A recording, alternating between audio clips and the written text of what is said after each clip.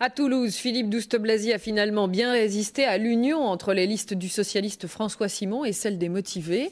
Euh, le candidat de la droite qui a été sérieusement bousculé hier lors d'incidents assez violents euh, provoqués par les jeunes des quartiers défavorisés, déçus des résultats du scrutin. Sur place, Véronique Gorel et Pierre Dick. Aujourd'hui, les portes du Capitole sont restées fermées une bonne partie de la journée.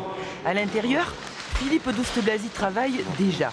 Une élection haut la main, émaillée hier soir d'incidents. Mais aujourd'hui, il ne sera pas dit que le Capitole est une citadelle assiégée. On, euh, on vous attendait sur la place du Capitole. on y va si vous voulez. Oui. On y va. Et Philippe Douste-Blazy de faire ouvrir enfin les portes du Capitole pour savourer son élection. Vous pouvez ouvrir les portes,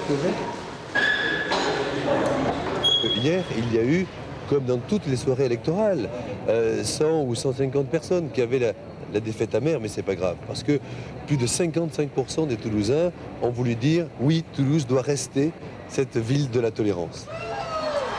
Le calme après la tempête. Hier soir, pour Philippe Douste-Blazy, la fête a été gâchée par la colère de centaines de jeunes qui avaient cru que Toulouse allait basculer.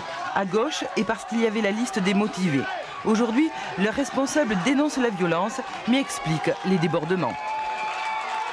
C'était simplement des jeunes qui avaient envie de, voilà, qui, qui, euh, espéraient par le phénomène motivé euh, trouver une place, une place active euh, à Toulouse et qui, voilà, après bon, la défaite a fait qu'ils étaient bon, un petit peu déçus.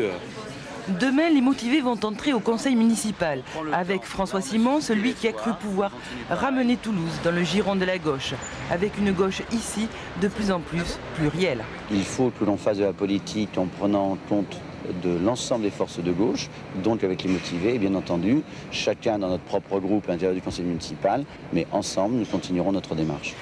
Et quand on demande à Philippe Douste-Blazy comment il pourra travailler avec ces trublions de la politique, il ne s'inquiète pas. Tous les adversaires que j'ai eus dans cette élection sont des gens euh, que je respecte totalement et qui ont fait preuve d'ailleurs de, à la fois de la combativité et aussi euh, euh, d'un certain réalisme politique.